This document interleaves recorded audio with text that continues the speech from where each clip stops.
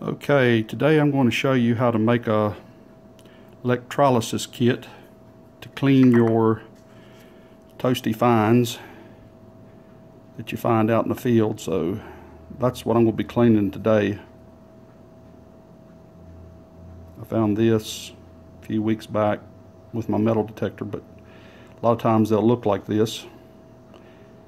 If they're rare, rare coins, I would never use this method. I would go to a coin dealer and, you know, ask them what would be the best way to clean, if not at all, because, you know, you can damage them. But this is a 1984 dime, so this is what I'm going to use for an example today.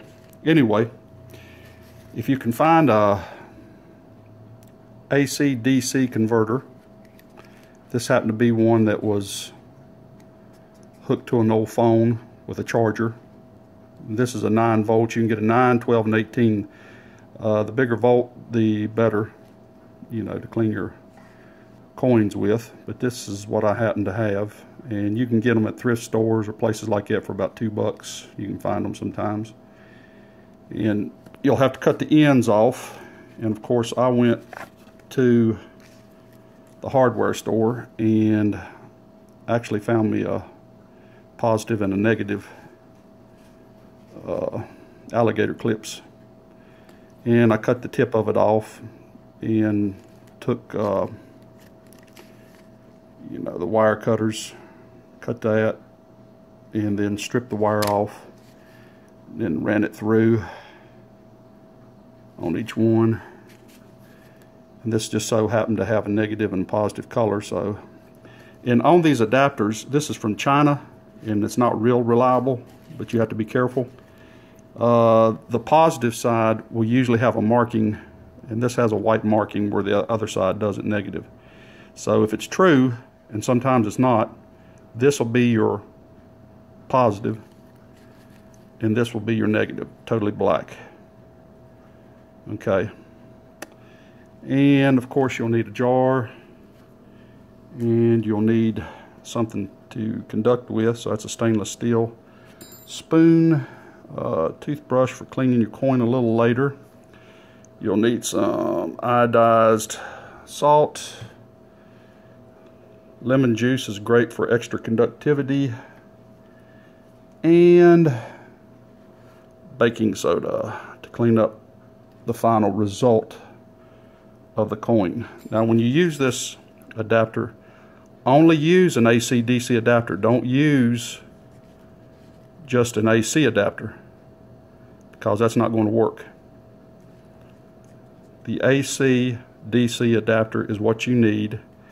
And when you come to these clips, don't get copper clips.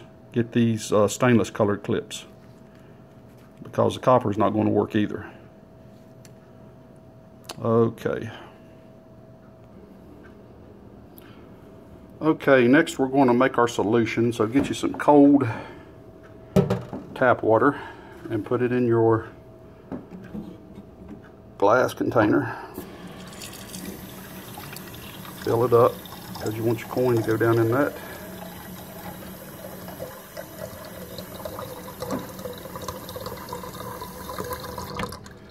Alright, then add a tablespoonful of salt, iodized salt make sure you mix that up good.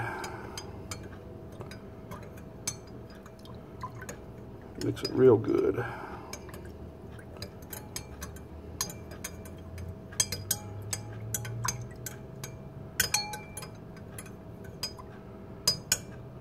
Something like that. Then add your lemon juice a little bit for better conductivity.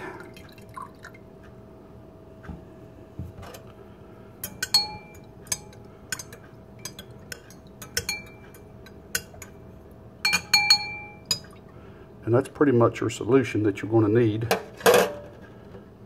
So just set it there. And we'll show you the next step. Okay, the next step is to set your spoon in your solution and hook your clip to it. Now when you put your coin in there, you want to make sure that they don't touch. Now you want your positive on your metal and you want your negative on your coin here. And you don't want them to touch. All right.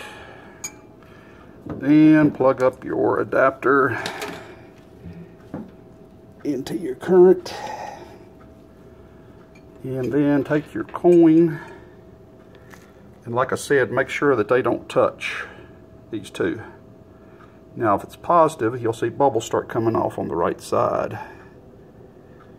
And as you can see bubbles are coming off and you want to do it for about 10 not 10 but about 5 minutes.